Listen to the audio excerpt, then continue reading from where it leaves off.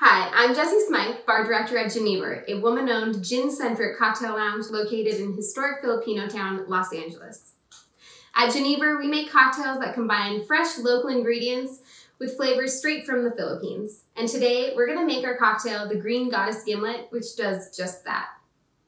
So to make our gimlet, we're gonna need a shaking set, as well as a measuring tool like a jigger, and a strainer like the one I have here.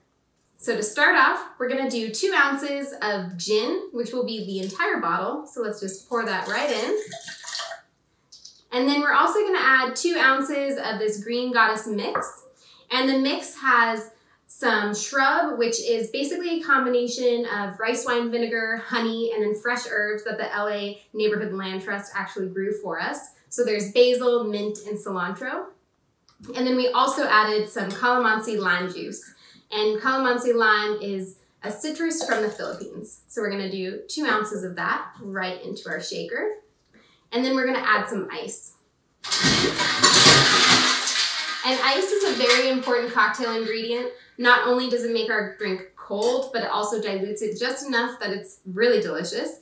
And when we shake it, it's gonna make it nice and fluffy. So fill that up with ice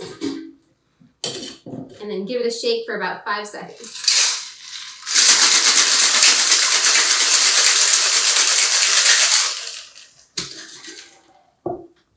And now we're gonna strain this right into our cocktail glass.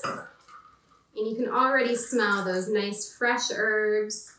And they play really nicely with all of the uh, delicious botanicals that are in the Bombay Sapphire. And then we're gonna garnish it with a dehydrated lime wheel. Just put that right on top.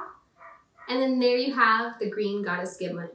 Cheers. I hope to see you all at Genever very soon.